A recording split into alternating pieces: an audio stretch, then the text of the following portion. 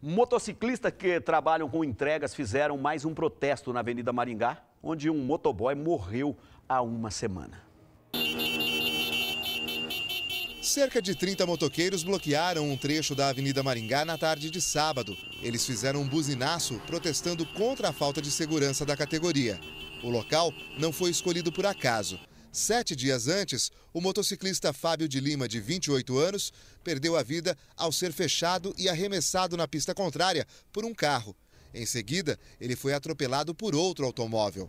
A diretora de um colégio que fica na Avenida Maringá lembra de outros acidentes na via e pede mais atenção das autoridades. Nós fizemos é, abaixo assinado, pedimos faixa elevada, aumentar o, o tempo de semáforo no sinal para travessia, que muitas vezes alguns motoristas atravessam né, a, o, o sinal vermelho, infelizmente. Os capacetes foram colocados alinhados em frente ao local onde aconteceu o acidente há uma semana, aqui na Avenida Maringá. O motociclista acabou perdendo a vida e hoje os colegas dele e esposa vieram fazer um protesto.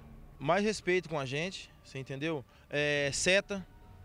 Você sabe que é diferente você frear um carro e frear uma moto. O carro não dá seta, você entra atrás, você vai estar errado, você entendeu? Olha, a moto tem ponto cego, imagina um carro. Então olha, dá mais uma olhada pra gente, entendeu? Só sabe criticar a gente. E vou falar imprensa, população inteira. Mas quando pede um lanche, uma pizza, o que seja, que é rápido. Ou cancela, até cancela os pedidos, você entendeu? Depois de perder o marido, a mulher de Fábio, que tem um bebê de 11 meses, está passando por dificuldades financeiras. Eu vou ter que partir para a parte da justiça mesmo, entendeu?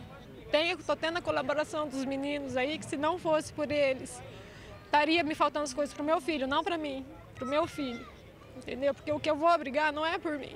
Eu não quero dinheiro para mim, eu quero de direito do meu filho.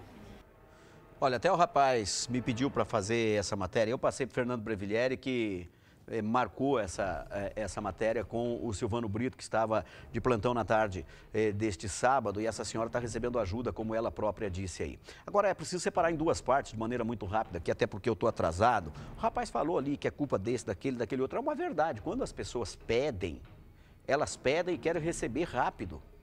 Eu também.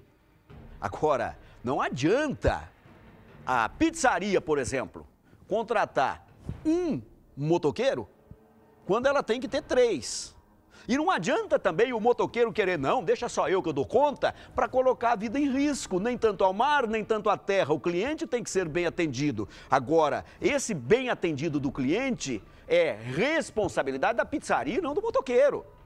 Isso não justifica os motoqueiros, principalmente aqui eu vou falar nada pessoal contra vocês mas os profissionais das motos, principalmente quem trabalha com a caixinha de entrega, é, são aqueles que mais fazem besteira no trânsito. Não vou mudar a minha opinião nunca. O espaço está aqui, está aberto para vocês dizerem o contrário, como acabaram de dizer.